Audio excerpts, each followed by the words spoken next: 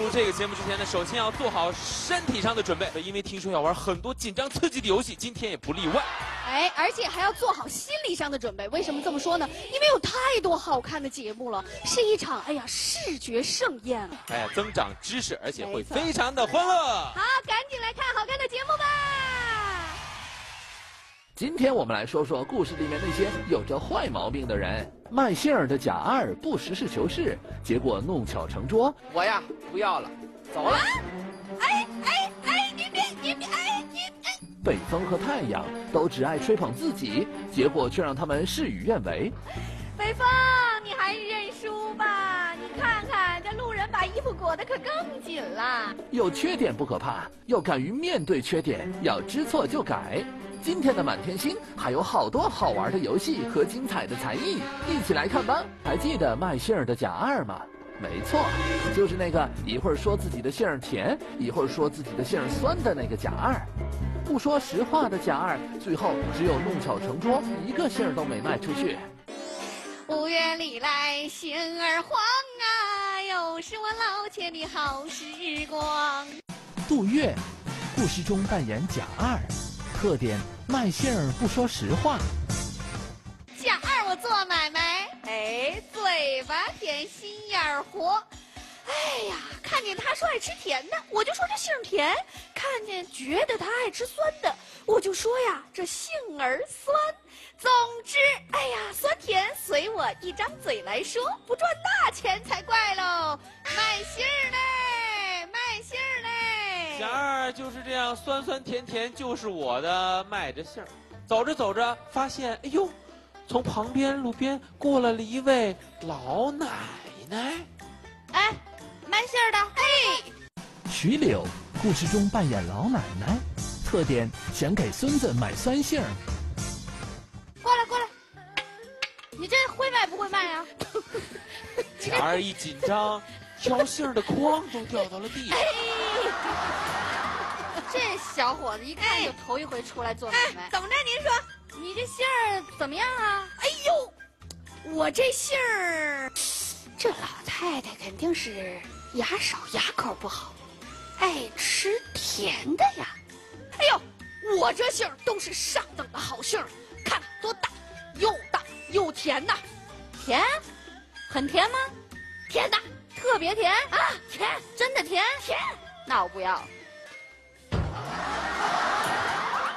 什么呀？啊！我我这这这这这这这甜杏不吃，我要酸的。为为为为什么呢？我我我我买给我孙子吃的，我孙子爱吃酸的呀。哎呦，真是的！你说说我刚才说我这杏是酸的就好，哎，失策呀。这贾二啊，一边叹着气，一边啊又重新挑起了卖杏的筐，也很懊恼啊。这个时候他心里想了：哼，我下次再也不能瞎吆喝这杏甜了，不能错过任何商机。于是啊，这贾二又吆喝上了。这贾二走着走着走着走着，又发现前面又有人了，有两位老人家正在下象棋呢。卖杏喽！卖杏的过来！哎，来嘞韩子琪、毕延平，故事中分别扮演老爷爷，特点牙口不好，爱吃甜杏儿。怎么着？您买杏儿吧？你的杏儿是酸的还是甜的？哎呦，这次我该说是甜的还是酸的呢？刚才那位就要买酸的，说不定酸杏好卖。您放心，这杏儿啊全是酸的。难道一点儿也不甜？保证，一点都不甜。保证您咬了一口啊，半个月都不用再买醋了。要不先给您来两斤尝尝。酸的，一个甜的都没有。呃，一个甜的都没有，酸的。那我可不要。我一老头子这么大年纪了，能吃酸的吗？啊？哎呦，我说错了。哎呀，您说这贾二怎么那么倒霉呀？碰上个想买甜杏的，他又说自己的杏酸。这走来走去啊，两筐杏一个都没卖出去，没办法，贾二只能继续挑着筐沿街往前走，碰碰运气了。哎呀，不顺，真不顺！今日倒财运，嘴皮总算活，分文没捞尽。哎，就这样，贾二走呀走呀，很久也没有人来买。终于，哎，他本来想清静清静，坐下歇会儿，结果呀，旁边竟然过来一个三十来岁的车夫。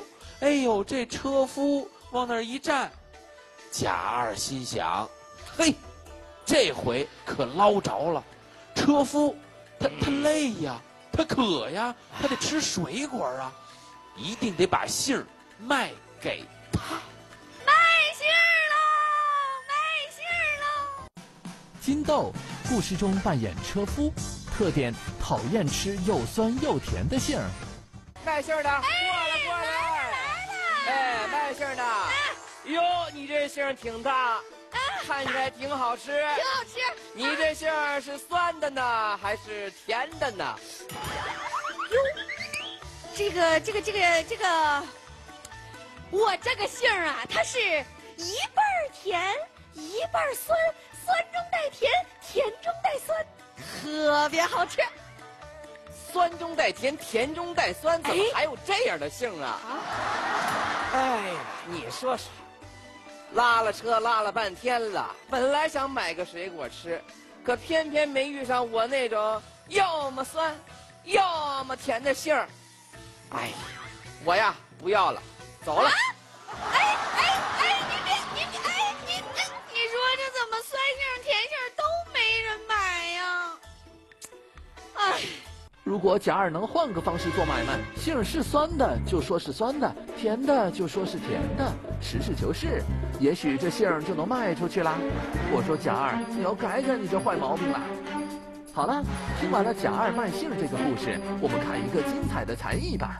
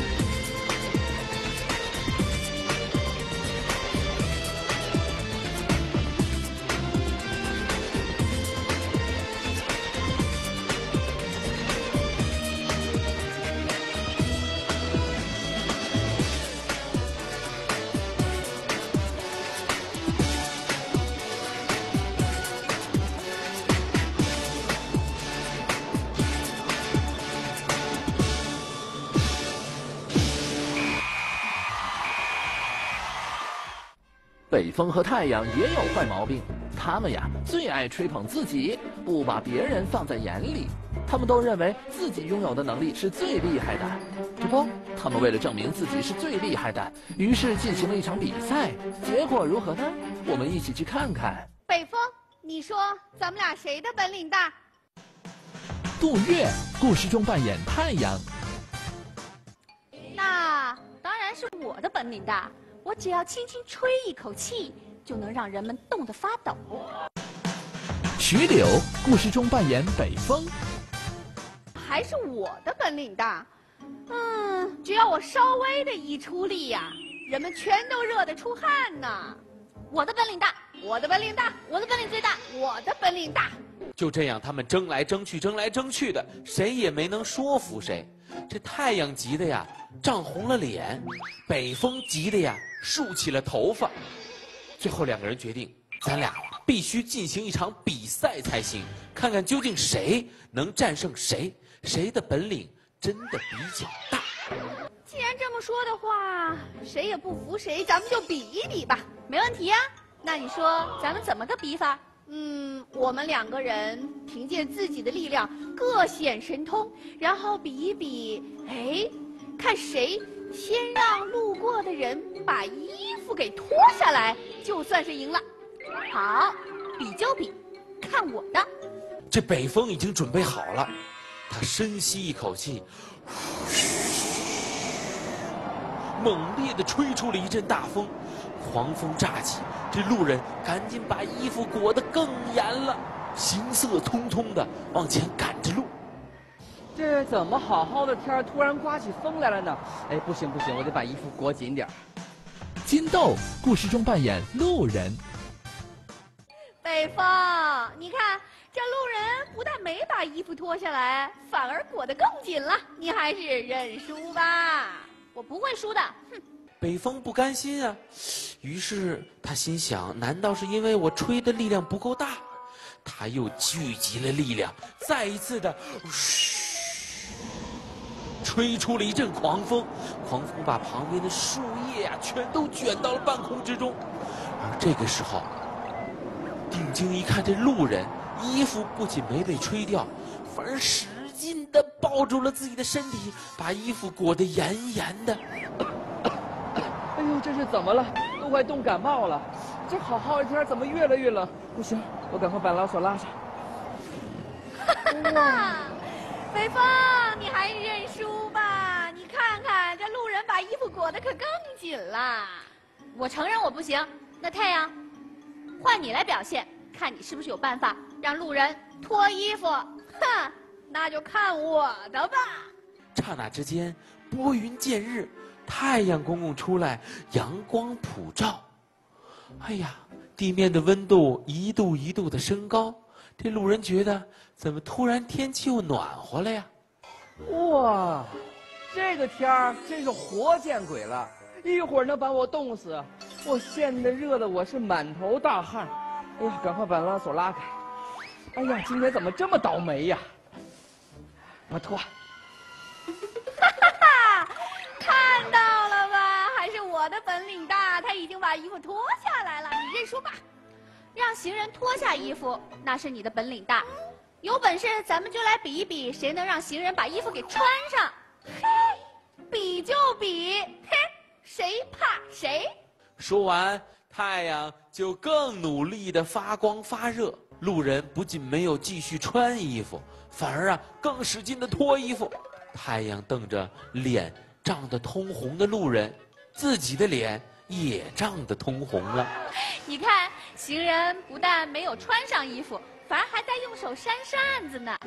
看我的吧，我只要轻轻地吹上一口气，行人就立刻得要穿上衣服。这北风刚一吹起，路人就赶紧抓过了身边的衣服，说：“哎呀，不行，我得赶紧把衣服再穿上。”这真是这个天儿活见鬼了。太阳，你看到了吧？还是我最厉害！哼，我不服！正在两个人争论不休的时候，白云看到了这一切，慢慢的飘了过来。你们俩都别比啦！毕延平，故事中扮演白云。白云，白云，刚好你来的正好，你来给我们俩评评理，我们俩到底谁最厉害？其实你们俩都很厉害。如果让行人脱下衣服，那是太阳的本领大。嗯，但是要是比让行人穿上衣服，那当然是北风的本领大了。你们俩呀，其实是各有所长啊。嗯，白云说的对。太阳，其实你很厉害。北风，其实我觉得你也很厉害。咱俩呀，别比了，我们是永远的好朋友。北风和太阳谁都没能赢过谁。事实证明，尺有所短，寸有所长，人有长处，必然也会有短处。大家既要学会看到自己的短处，也要看到别人的长处。好了，接下来到了游戏时间了，一起来玩游戏喽！哇，欢迎大家来到周末满天星的游戏时间。我有点紧张，为什么弄一个田字格干嘛用？是做游戏用的呀。玩什么？你看，今天我们特意请了红果果、绿泡泡来跟我们玩游戏哈，而且自动我们就分成了两队，有没有发现？我们的服装是导演导演让我们穿的呀。不是是自动的，啊，好，是自动分成了两队，自觉对对对对，那他来干什么？你听我说呀。他是今天的主持人，是不是？对，差不多。哎呀，那我们这个游戏叫人体拼字，我们分成两个队来拼字哈。这个字谁来猜呢？是由中间的这位小朋友来猜的啊，因为他的感觉是一样的哦。我们谁拼的像，他可能就能猜得出来。所以最后看他为哪个队猜的多，哪个队就算赢了就。规定时间之内。是的，明白了，嗯，哪个队先来？你们先来吧，为什么？让他预热一下，热身一下。那你们队先来吧。不，女士优先嘛。对，来往后退。哎哎，你们仨人，我们先来就我们先来，行吗？果果不行啊，不行，他说 不行。翠萍可翠萍可啊，服不服？服，你们先来吧。你先来哎，果吧。果，你有没有觉得他的那三个特写特别怂？行行行，我们先来，我们先来。来，我们是有三分钟的时间哈。来，那个小姑娘，请你就位。三二一，开始。开始啦！小朋友说出正确答案之后，哎，我们可以看下一道题目啊。哦，这个字太容易了，我正确。好。哎不哎许，说话，不许说话。台下的朋友们千万不要提示啊！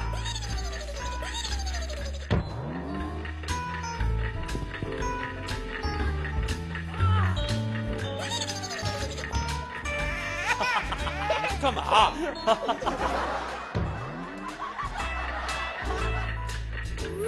你们这是几个字儿啊？我怎么看着像像一篇课文啊？哎呀，你们在干嘛？喂，有没有搞错啊？不行就过好了。是不是那个那个那个大？对了，哎呦，下一张你猜字儿的小朋友太厉害了，可以可以。这个看你们怎么办。哦，对，姐姐可以啊。哎，三已经拼过了，小，这你都能看出来。为什么不是穿呢因为我的 feeling。？feeling，我的 feeling。Sorry。一分半了啊！又是三啊！这什么？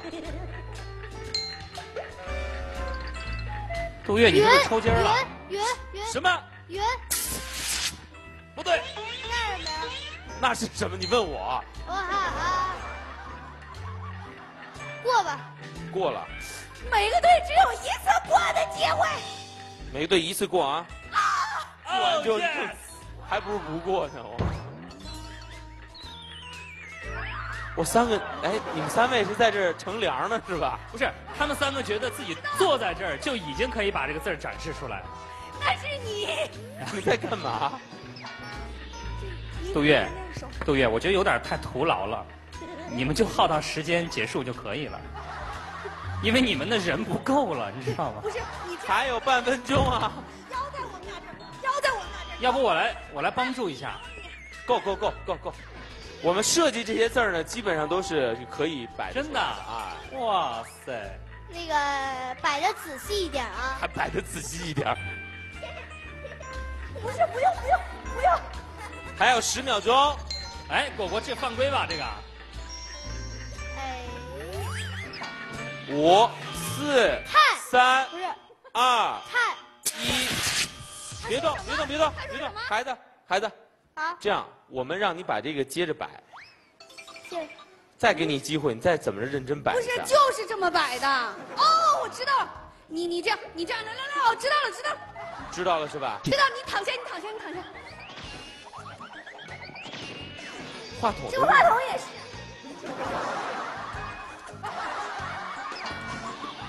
你在干嘛？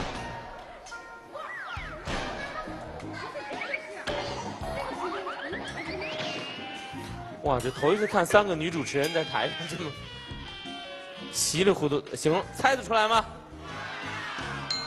呃，人呐，两个人，别说话，门上两个人呐。别说话。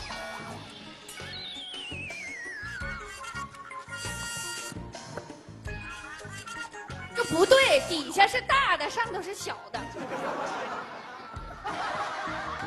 如果他能猜得出是肉的话，哇，那见了鬼了。我想想啊，那个摆的形象点儿，都提示成这样了，你还让我们摆的形象我？实在没办法了啊主啊。要是太不形象了，知道吗？最终，最终我们红队答对了两道题吧？红队答对了三道题吧？三看啊，两三道三道，大小。小对三个三道题。红队答对了三道题，好不好？啊，哦，那咱们太轻松了。耶，说的话，没什么要说，我们就开始吧。好，开始吧。开始哈，那我计时了啊。你得先把它亮出来，我们再我们看我不是，我得先计。每个裁判的这个判定的规则是不一样的，我得先计时，完了再亮。对，先计时啊，预备开始。好，好，慢慢的转，哎，慢一点。好好，哎呦，这速度真慢哎！反了，那边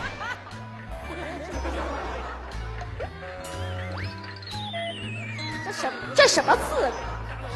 真奇怪。小朋友不要提醒啊。哦，上，好，正确，下一个。快，你快点，不要这样耽误时间。这节目是，有没有仲裁委员会？啊快，哇你到上面去，哎孩子，你那种你这来，快，正好长短都一样，嗯。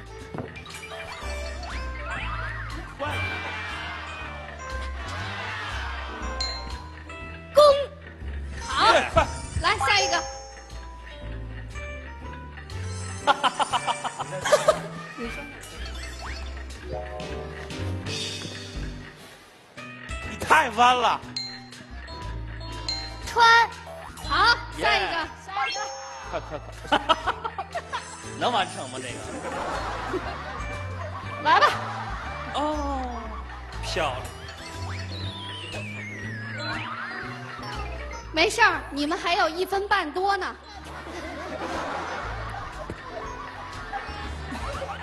你这什么呀？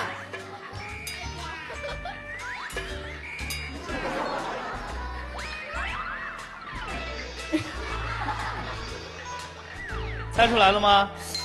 呃，灯，耶！再来再来，再来下一个，那个什么什么炮，快快点，快点哎，来就刚才那个，来来。要不，咱俩得换一下，你去那边。快快快！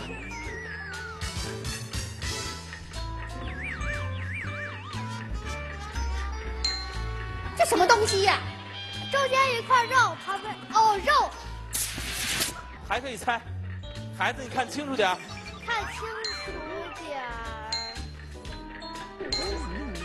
你能猜出肉来，你看不出来这个，你也太肉了吧！三、二、一，好，时间到。他们猜了四个，对。所以松啊。你们是猜了四个吗？对，对，哦，红果果队获胜喽！你不仅语文不好，数学也不好。好吧，好吧，你们赢了，你们赢了，你们赢了。不是刚才猜词儿那个呢？你过来。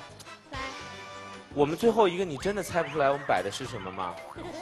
猜猜不出来。跟肉很像的。你能猜出个肉？N 开头的，不是，还汉语拼音，汉语拼音有 n 吗？那叫呢好吗？孩子，你也太那个了吧？主要是那个，尤其是你们三个配合的太不好了，不和谐。怎么不好呢？哎再给他，再给他来一个，再哎，那个我觉得是这样，不是你孩子，你认真看可能他下。没学到这个字。不，他连肉都认识，他能不认识这个字吗？好，你快快，把手放。你说你们当然要配合的好一点多好。你看一下，这是什么？那那那个那是吧？对哎，我问你一个问题，你觉得呃，就是是蓝队表现的好一点，还是红队表现的好一点？呃不是，我是不想伤害大人的幼小心灵，也不想伤害儿童的大人心灵。孩子想的真多。那你到底觉得谁表现的好一点？点兵点将点到谁，哪个表现的就最好？耶！好，耶！真的是又考虑到他们的内心，多么让他们可以接受的一种方式，又把恭喜胜利蓝队获胜！谢谢。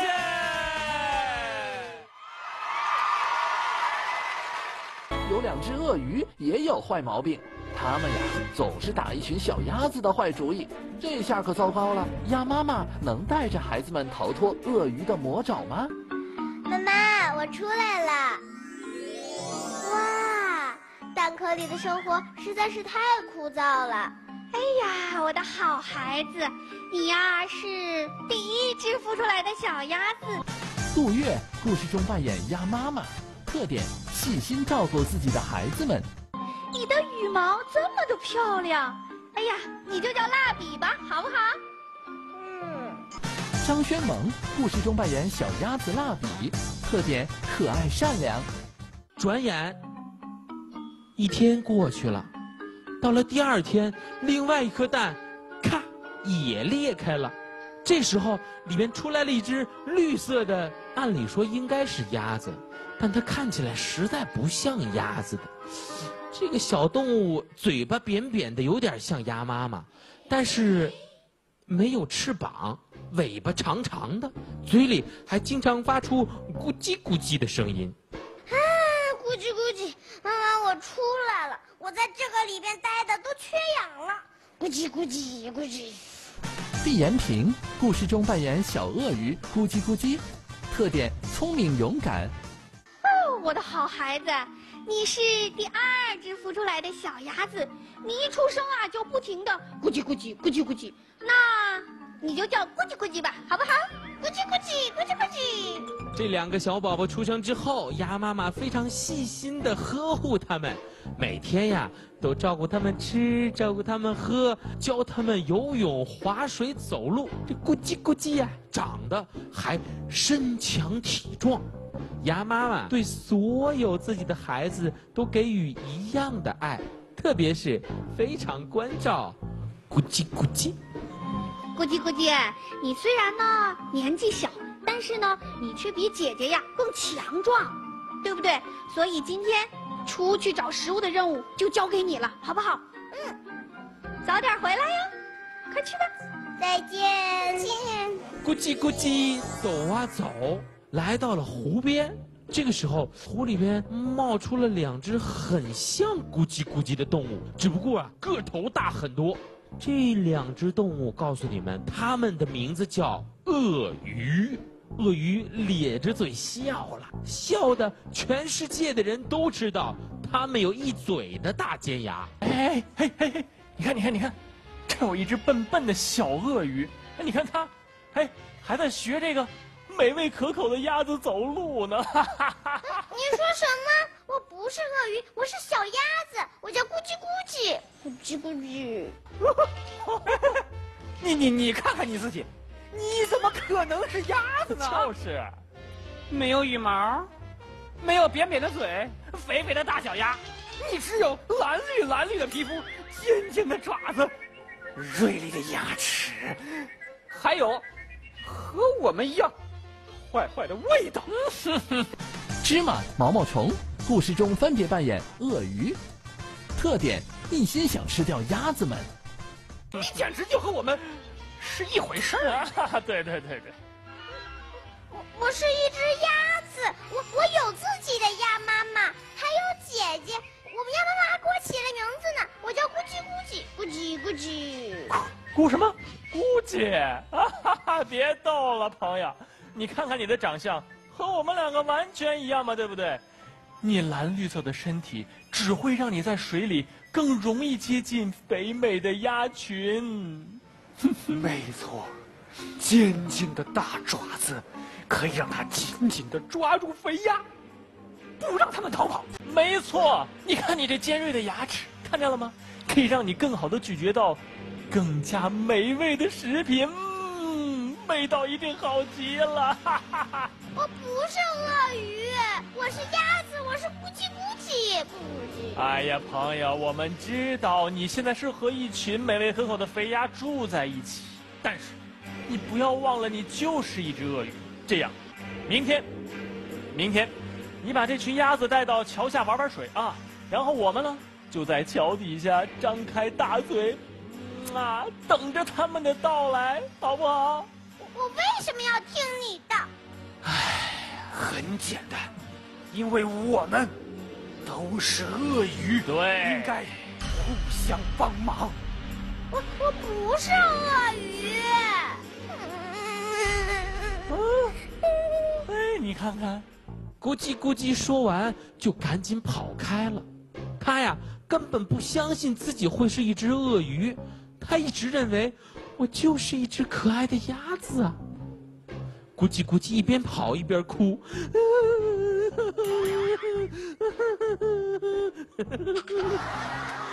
他这样哭着，难过着，跑回了鸭妈妈那里。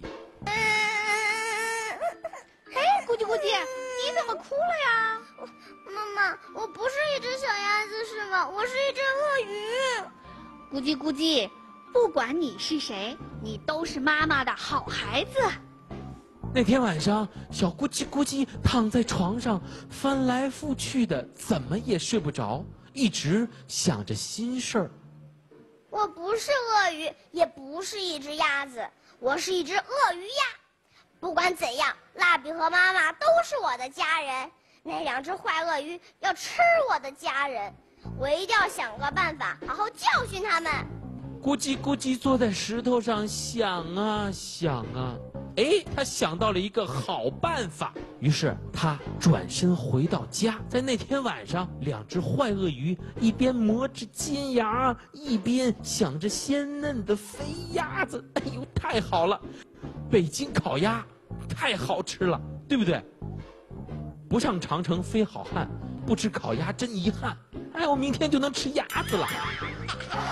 这两只鳄鱼就这样想着。想着，睡着了。第二天早晨，咕叽咕叽还真按照鳄鱼的指示，带着肥肥的鸭子来到桥边，准备玩跳水的游戏。难道咕叽咕叽真的学坏了吗？哎，看到没有，咕叽咕叽可真听话啊！把我们的美味都给送过来了，那我们还等什么？赶紧张大嘴巴，等着肥鸭跳进嘴里来吧！啊，快点到我们的嘴里来吧，美味的肥鸭，快点跳吧！妈妈，咱们快把咱们准备的石头扔它！啊啊啊！咕叽咕叽实在是太聪明了，这坏鳄鱼怎么也想不到。跳下水的不是鸭子，而是咕叽咕叽搬起来又硬又大的石头。这两只坏鳄鱼张着嘴，嘴里一感觉到东西就咬了下去。咬下去之后怎么样？牙都掉了。哎，两只坏鳄鱼疼的呀！哎呦，我的牙呀！哎呦，我的牙齿都碎了！咕叽咕叽，居然敢骗我们！以为我们吃的是肥鸭，可是，是这些又大又硬的石头！哎，疼死我了！疼啊！坏鳄鱼们，这次只是给你们一点小小的教训，下次看你们还敢不敢吃我们鸭子！咕叽咕叽，你，你给我等着，我们不会放过你的！哎呀，好疼啊！好汉不吃眼前亏，咱们还是赶紧爬吧！走走。哎呦，咕叽咕叽，是你救了我们大家，你不仅聪明，而且啊勇敢，你是我们心目中的大英雄。咕叽咕叽，我们永远爱你。哦。坏心眼的鳄鱼们受到了惩罚，你们可要吃一堑长一智啊！再敢打小鸭子们的坏主意，你们可没好果子吃啊！好了，听完故事休息一下吧。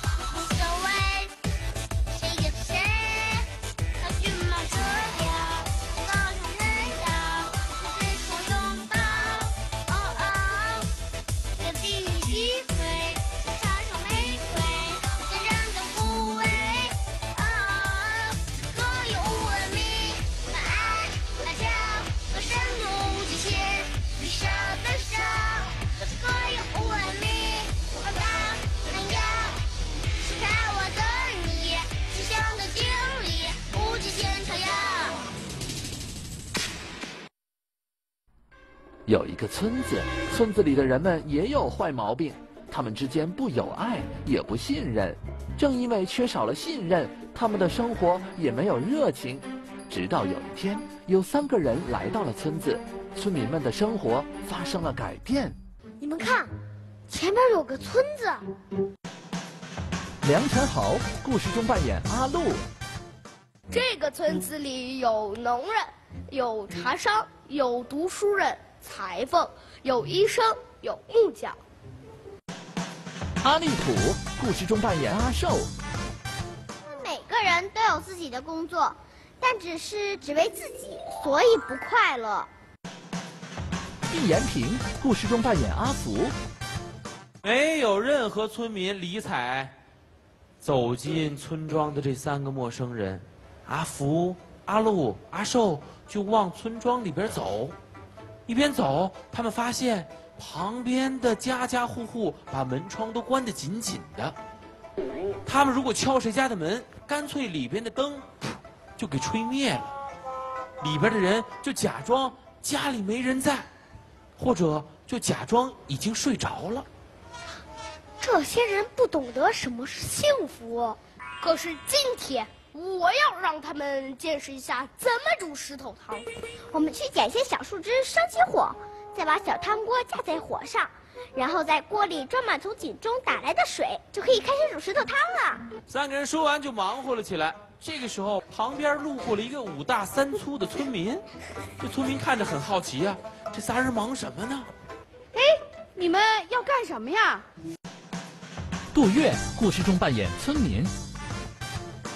在捡柴火，我们在生火，我们要煮石头汤，还得找三个又圆又滑的大石头。嗯，你们还要找石头啊？我知道石头在哪里，我帮你们找吧。说完，这个村民就开始帮着阿福、阿禄、阿寿在院子里边找他们要的石头，要帮他们一起煮石头汤。看，这是我帮你们找的大石头。哦，谢谢。哎，啊，可以煮出好喝的汤，但是我担心锅太小，煮的汤不够喝。锅太小，没关系，我家呀有口大锅，我这就去拿口大锅来。说着，这村民啊就跑回自己家里去了。啊，没想到他的家人很爽快的答应了。答应他把锅拿出去给陌生人，而且还说：“哎，学学怎么煮石头汤也挺好的。”哎呀，应该说，这个村子里边已经开始有一点点热情被阿福、阿禄、阿寿点亮了。我把大锅帮你们拿来了，咱们赶紧啊做石头汤吧。谢谢，我赶紧开始吧。谢谢。哎呀，阿福、阿禄、阿寿拨了柴火。他们搅动着锅里边的石头，躲在窗子后面，没有信心也没有热情的人，终于开始一个一个的打开门，走出屋，很想看看长院里边这几个人究竟在干什么。哎，这石头汤怎么煮啊？我很好奇啊。徐柳故事中扮演村民。哎。我也很好奇，我们一起去看一看吧。走走走。哎，赵一天故事中扮演村民。这个石头汤很难煮吗？很简单，煮传统风味的石头汤，如果加上了盐和胡椒粉，味道才会更香呢。没错，可是我们没带这些东西。哎，我我家有这盐和胡椒啊，要不我先回去给你们拿来。这个村民特别想学学石头汤怎么做，也很想尝尝石头汤的味道。听说需要盐还有胡椒，他就赶紧跑回家去。不仅拿来了盐和胡椒，还把家里的花椒、大料、料酒全都拿来了。照我们的经验，这么大锅的石头汤，如果再加上一些胡萝卜的话，那么汤会更甜。胡萝卜，哎呀，我告诉你，我们家养了两只小兔子，所以我们家有很多的胡萝卜。我现在就回去拿，好不好啊？村民跑回自己家里，啊，从家里的小兔子窝里拿出了胡萝卜，赶紧跑回来，把胡萝卜丢进了汤里。要是再放些洋葱，味道是不是会更好？哦，对呀，放几个洋葱，味道也许不错哎。我家里有，我回去拿。这个村民跑回家，过了一会儿，他抱来好几个大个的洋葱，哎呦，白皮儿的、紫皮儿的都有，把洋葱切了切，也放进了沸腾的锅里。哦，这汤味道不错呀。哎呀，闻起来就很香啊！想到了就更好吃了。不过，要是再加些蘑菇的话，味道就更好了。阿寿话音刚落，这蘑菇也被取了回来。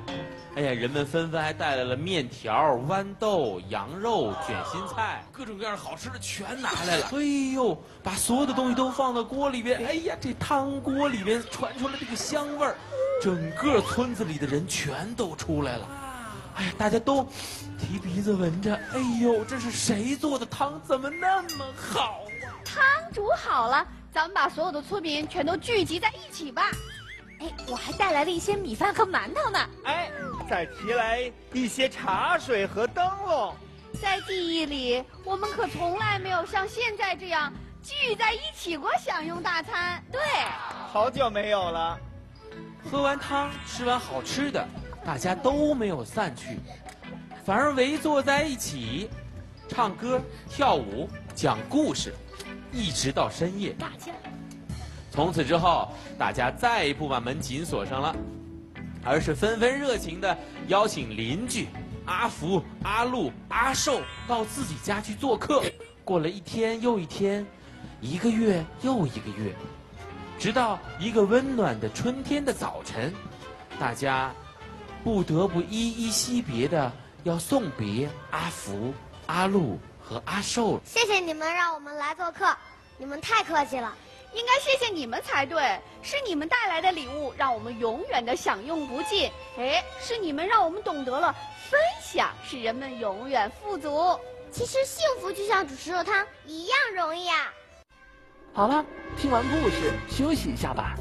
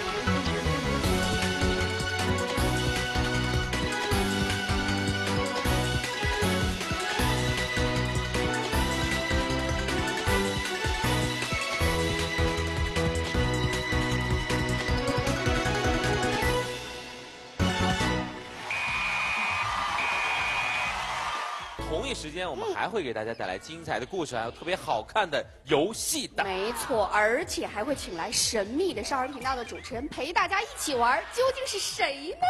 这个事情不确定，哎但确定的是是下周我们两个是肯定还在的。那也不一定，一定在 要看啊。观众的反应。是这样的，对对对我们会好好表现的。谢谢大家。好了，这期节目就是这样了，下周周末晚天星再见。再见